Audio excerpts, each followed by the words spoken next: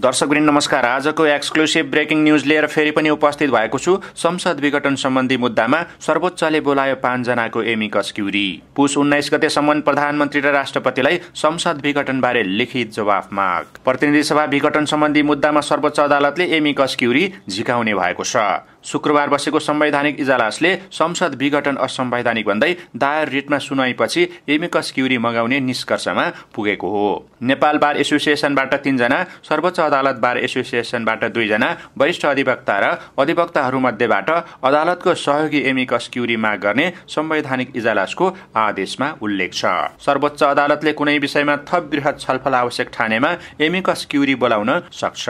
पुस पाँच गते प्रतिनिधि सभा विघटन गरेपछि त्यसबाट करिब डेढ दर्जन रिट दायर भएको थियो। शुक्रबारको सुनाईमा रिट निवेदकका पक्षबाट बहस गरेका कानून व्यवसायीले पाँच दिनभित्र लिखित जवाफ मगाउने र नियमित सुनवाईको माग गरेका थिए। संसद विघटन विरुद्धको रिटमा शुक्रबार प्रधान न्यायाधीश राणा न्यायाधीशहरू हरिकृष्ण कार्की विशम्बर प्रसाद श्रेष्ठ अनिल कुमार सिन्हा र तेज बहादुर केसीको इजलासमा सुनवाई भएको थियो। उन्नाइस गतेसम्म लिखित जवाफ माग। संवैधानिक इजलासले संसद विघटन बदर गर्नु नपर्ने कारण भए लिखित जवाब पेश गर्न आदेश गरेको छ। नेकपा संसदीय दलका तर्फबाट प्रमुख सचेतक देव गुरुङ सहितका सांसदहरूले दायर गरेको रिटमा संसद विघटन बदर नगर्नुपर्ने कारण र आधार भए पुस उन्नाइस गतेभित्र पेश गर्न आदेश भएको छ। महान्यायी वक्ता कार्यालय मार्फत लिखित जवाब पेश गर्न विपक्षीका नाममा आदेश गरिएको छ। रिटमा राष्ट्रपति कार्यालय मन्त्री परिषद तथा प्रधानमन्त्रीको कार्यालय र सभामुखलाई विपक्षी बनाइएको छ।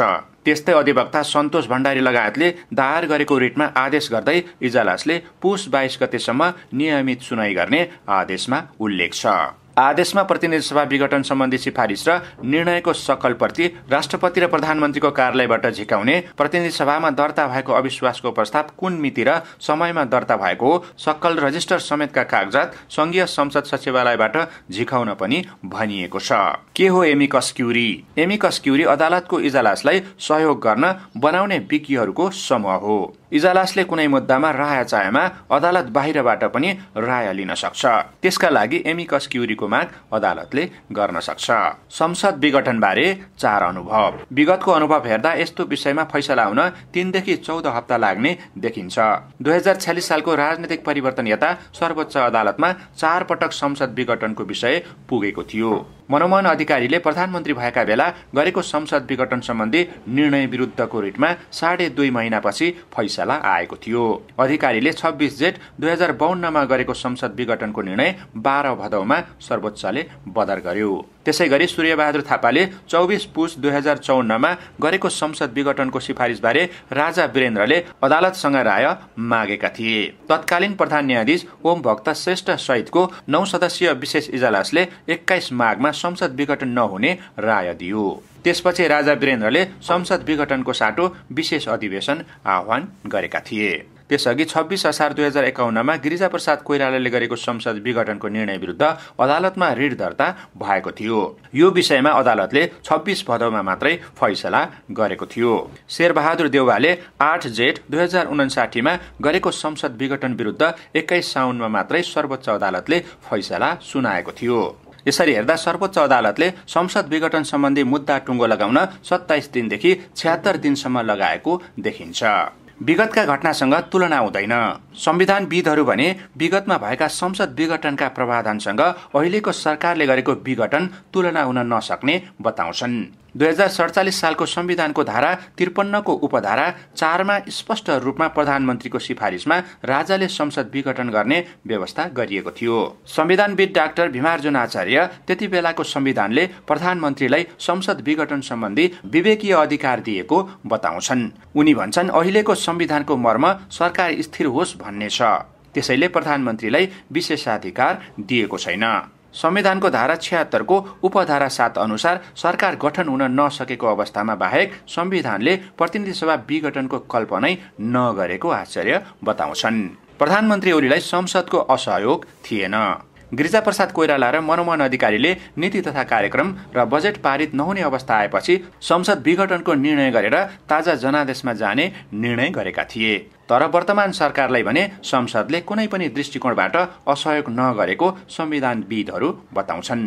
संविधानविद डाक्टर चन्द्रकान्त गेवाली संसदसँग द्वन्द नै नभएका बेलामा प्रधानमन्त्री ओलीले प्रतिनिधि सभा विघटन गरेको बताउँछन्। संसदले हर तहरले प्रधानमन्त्रीलाई सहयोग गरेको देखिन्छ। उहाँले अधिवेशन नै नचलेका बेला संसद विघटन गर्नुभयो। गेवाली भन्छन् अहिलेको संविधान अनुसार अविश्वास प्रस्ताव आयो भने सरकार विघटन हुन्छ तर कुनै पनि हालतमा संसद विघटन हुँदैन। यसै गरी अर्को एक्सक्लुसिभ ब्रेकिङ न्युज आएको छ नेकपा विभाजन बारे चीनको चासो। प्रधानमन्त्री केपी शर्मा ओलीले संवैधानिक परिषद सम्बन्धी अध्यादेश हुँदै संसद विघटनसम्मका कदम चालेपछि सत्तारूढ दल औपचारिक रूपमा विभाजित भएको छ। यद्यपि यसको वैधानिकता लिएर कानूनी लडाई शुरू भएको छ। ओली र पुष्पकमल दाहाल तथा माधव कुमार नेपाल समूह दुवै आफूलाई नै आधिकारिक नेकपा दावी गर्दै निर्वाचन आयोगमा पुगेका छन्। पार्टी विभाजनपछि दुवै पक्षले आरोप प्रत्यारोप मात्रै होइन एक अर्का विरुद्ध संघर्षका कार्यक्रम समेत घोषणा गरिसकेका छन्। यसबाहेक दुवै समूहले विभिन्न तहका कमिटिको पुनर्गठन थालिसकेका छन्। कारवाही र निष्कासनको निरन्तरता जारी छ। विभिन्न पदको अफर सहित एकले अर्को समूहका नेता कार्यकर्ता चोर्ने खेल पनि चलेकै छ। प्रदेश सरकार विरुद्ध अविश्वासको प्रस्तावको खेल पनि सुरु भएको छ। छिमेकी चिनिया पक्षले भने फुट आएका यी दुई समूहबीच पुनः एकताको सम्भावना कति छ भनेर बुझ्न थालेको छ।